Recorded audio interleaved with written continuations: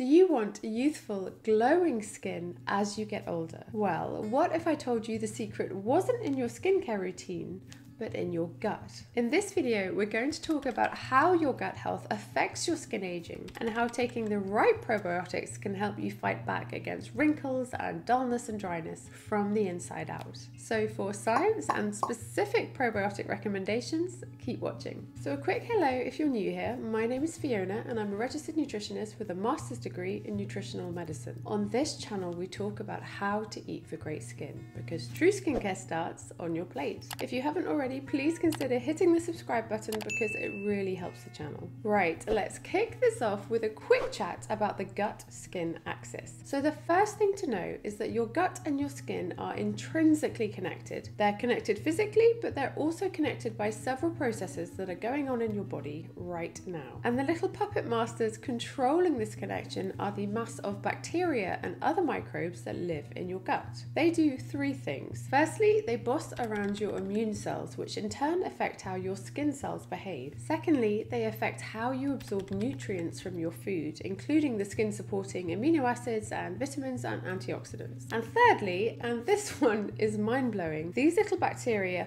poop out substances that travel to your skin in your blood. And depending on the bacteria you have in your gut, this bacterial poop can either be really irritating to your skin or it can enhance your skin. So the gut skin axis exists and it's mediated by your immune cells, by your nutrients, and by bacterial poop. But what does this have to do with your skin's aging? So we all know that we want friendly bacteria in our gut, but here's the problem. Research suggests that as we get older, those populations of friendly skin supporting bacteria tend to decline. And with fewer friendly bacteria and possibly more unfriendly bacteria pooping out irritating substances, you have a less happy environment in your gut. And this contributes to two of the key drivers of aging. The first one is oxidative stress, which is kind of like the accumulation of debris in and around your cells. And the second one is chronic low grade inflammation, otherwise known as inflammaging. Together, these processes start breaking down the structure and function of your skin, leading to fine lines and wrinkles and sagging and loss of elasticity and roughness and an uneven skin tone, aka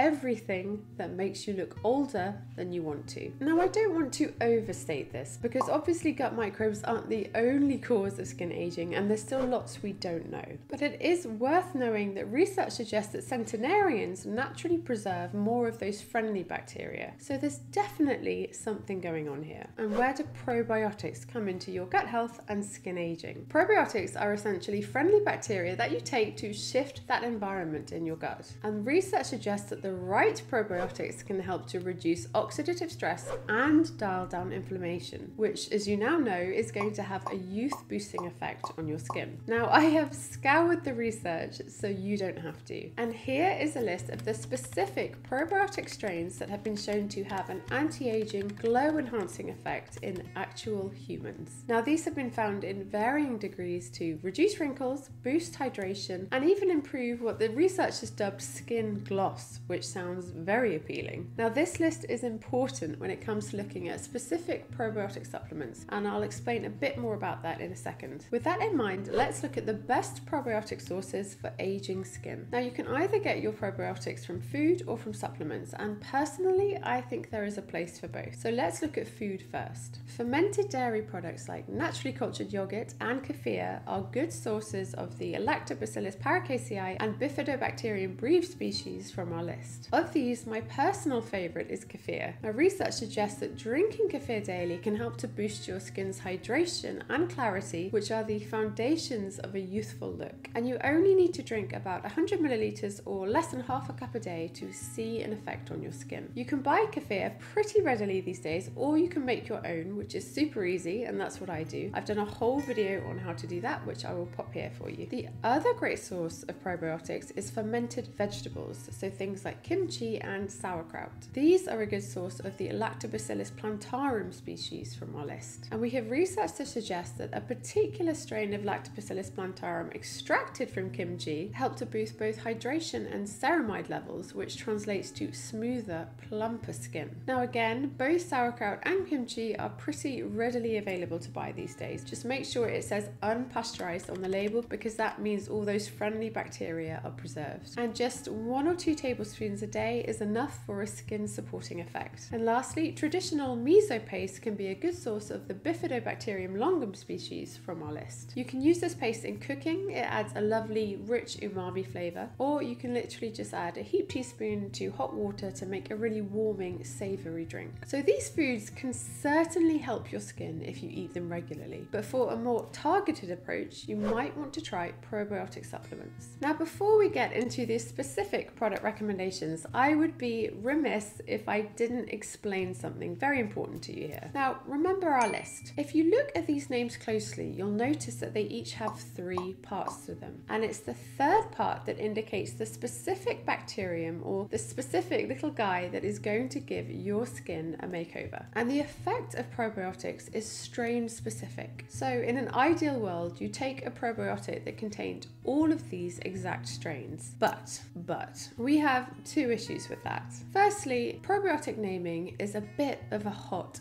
mess. Because probiotic strains are generally owned by the labs that culture them, you can have two or more strains that are structurally and functionally very similar but are called different things. It's like having two Labradors who are very similar but because they're owned by different humans, they're just called different names. Our second issue is that lots of brands just list their bacteria to the species level, so they just show you the first two parts of the name on the label. Now, that could be because they don't want to bamboozle you, but it can also be because they don't actually know the strains that are in there themselves. Yep, really. I'm telling you all of this so you know that the following product recommendations aren't perfect, but they are a strong starting point if you have the budget to spend and you want to try probiotics for skin aging. First up is Bio-Kult's Everyday Probiotic. Now, I've talked about this one on the channel before because it is generally a good all rounder. In terms of aging skin, we know it contains Lactobacillus paracasei, Bifidobacterium breve, and Bifidobacterium longum species. These strains aren't the exact ones mentioned in the research because, again, these particular strains are owned by Protexin in the UK, but again, it's likely that they are structurally and functionally very similar, so they will still influence your skin. These work out at about £10 or $15 a month if you take one a day, which to be honest is quite reasonable for a good probiotic. Now, another option, particularly if you're in the US, is Hum Nutrition's Gut Instinct. Again, this hits several of the species known to help skin, and it also contains a particular strain that helps to regulate your stress response, which is also going to have an anti aging effect over the longer term. And unlike the Bio-Kult one, this one is also vegan, so it's suitable for people on a plant based diet. Now, this works out at about £25 or $26 a month, so it is more expensive. And last up, we have the SFI Health Ther-biotic Complex. Now, this used to be Klaire Labs Ther-biotic Complex, but Klaire Labs has become SFI Health. Now, this one is an investment in your skin, especially if you're in the UK. It works out at about £48 a month here, or it's $26 a month if you're in the US. However, it does contain 25 billion colony forming units per capsule, which is a pretty punchy dose, and it does contain several skin supporting anti aging species. It also contains a prebiotic, which is essentially food for those friendly bacteria, so it encourages them to grow even more. Now, this one does have to be stored refrigerated, which can be a bit of a hurdle in your remembering to take it. But what you can do is just put it somewhere front and center in your fridge so you notice it every time you open the fridge door. Now, whichever one you choose, you need to commit to taking it for three months before judging whether it's working for you. And probiotics are generally considered to be safe, but please remember that these recommendations aren't personalized to you. So be safe and check in with your doctor before you start any new supplements. Finishing up with some extra tips. So, probiotics can certainly help gut health and skin aging, but they're not the full story. Other things are really important for your gut health too. Firstly, eating a fiber rich diet. And again, I literally have a video on how to do that, which I will pop there for you. Secondly, exercising regularly. And walking in nature is a particularly good form of exercise for you and your gut microbes. Thirdly, sleeping well. And we literally have research that shows that poor sleep can